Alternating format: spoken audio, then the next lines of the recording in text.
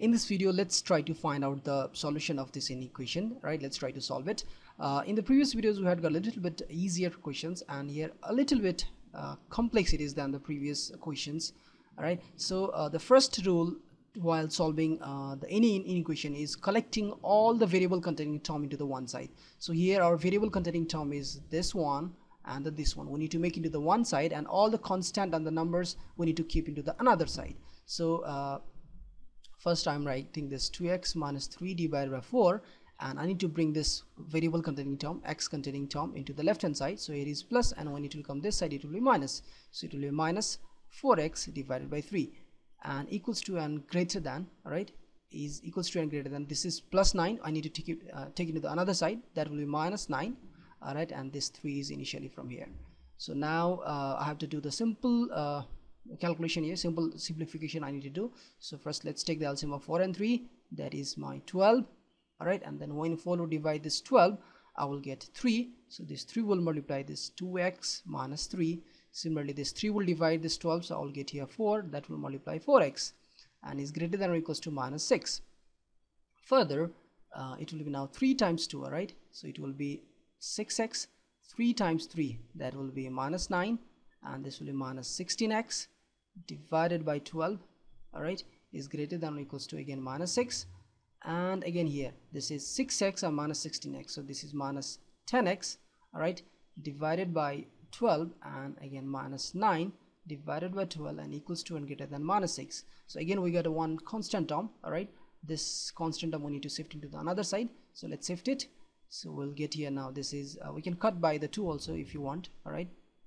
It's now minus 10x divided by 12 is greater than or equals to minus 6 by uh, sorry simply minus 6 plus 9 over 12 so it's now minus 10x over 12 is greater than or equals to now this will if there is nothing there will be 1 all right it's 12 so 1 times 12 that is minus 72 plus 9 all right and we can cancel this 12 and 12 now and and now it is minus 10x is greater than or equals to minus 63 and now we are in such a stage we are in the standard stage right? Like this ax is greater than or equals to b or maybe less than or maybe less than or equals to or maybe simple greater than. So whenever we get in this stage we have to divide by the coefficient of the variable to the left hand side as well as the right hand side all right?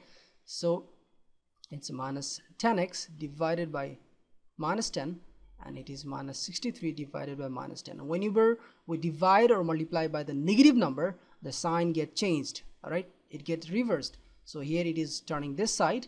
It's greater than or equals to sign now it will be less than or equals to sign because we know that whenever we multiply or divide by the negative number uh, into the left hand side and right hand side by the same number then the the inequality get reversed. All right so this and this will cancel up and here it is x is less than or equals to this minus minus will cancel up you'll get 63 over 10 all right so is 6.3 actually. And if you see in the number line uh, if this is 0 1 2 3 4 5 6 7 all right? So 6.3 will be somewhere here all right? This will be this will be 6.3 or you can say 63 over 10 so here our solution is x is less than or equals to 63 over 10 so including this and all the number less than this 63 over 10 till this is negative infinity this is positive infinity. So this is our this is our solution all the number right which are less than 63 and in this negative infinity